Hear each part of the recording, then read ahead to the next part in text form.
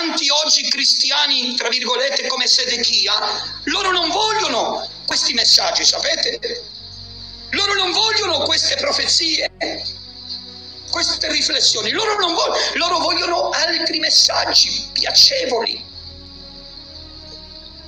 Vogliono un aiuto da Dio, loro vogliono Dio che li aiuti, ma loro non vogliono ubbidire a Dio. Oggi eh, stiamo arrivando in un'era dove la maggior parte del cristianesimo è così. Loro vogliono un aiuto dal Signore, ma loro non vogliono ubbidire al Signore. Tu vuoi un aiuto da Dio, ma tu non lo vuoi ubbidire. Tu sei un figlio del diavolo. Ti devi convertire e allora sarai un figlio di Dio. Alleluia. Oh, al Signore.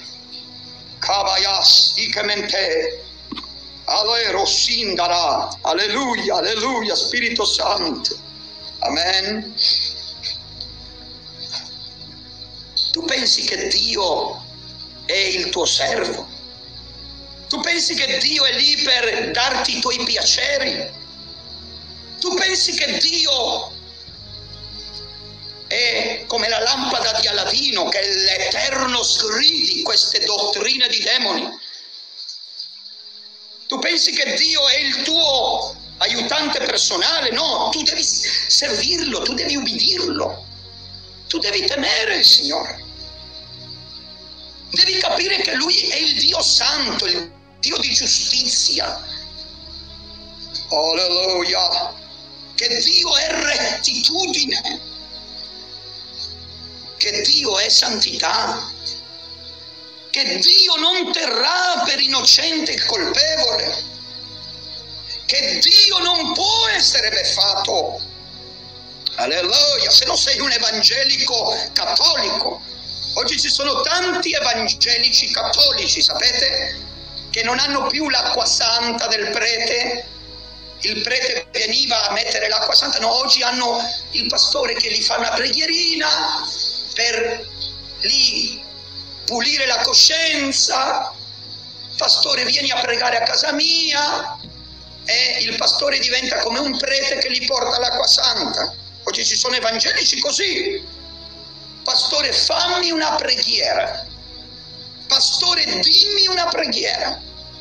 Pastore, io ho bisogno che tu preghi per me. E tu come stai vivendo? Tu sei un evangelico cattolico. Sei un evangelico a mo' di Sedechia. Sei un ribelle, un disubbidiente. Dio non vuole questo. Non vuole. La protezione di Dio è per quelli che lo temono. Quanti dicono gloria al Signore. Amen.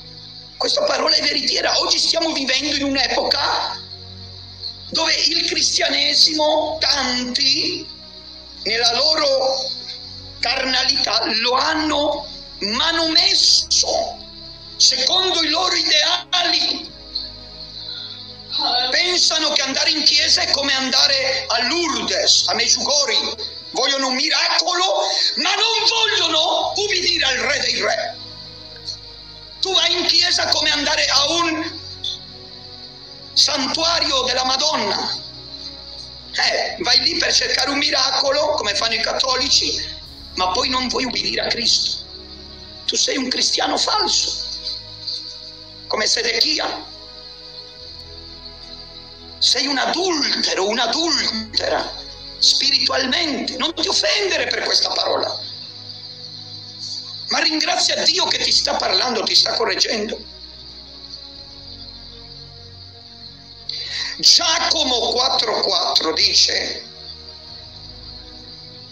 adulteri e adultere, non sapete voi che l'amicizia con il mondo è inimicizia verso Dio?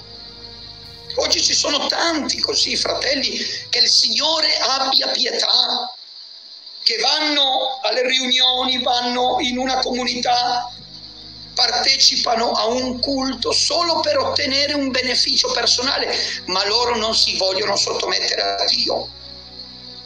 E vogliono Gesù solo per i pani e per i pesci. Oh Dio mio di pietà. Vogliono Gesù solo per un miracolo. Vogliono Gesù solo per un aiuto, che gli dia un buon lavoro, che li guarisca, ma non vogliono sottomettersi alla volontà del Signore. È quello un cristianesimo falso, di prosperità, un cristianesimo materialista, è un cristianesimo ipocrita. E la maggior parte oggi è così, lo sapete voi fratelli? Tanti di voi lo sapete. La maggior parte dei cosiddetti cristiani, che il Signore abbia misericordia, vivono così. Alleluia. Loro vogliono che Dio li aiuti, ma loro non vogliono ubbidire al Signore. E queste persone hanno un Dio che non è il Dio biblico. Evangelici che non hanno un Dio biblico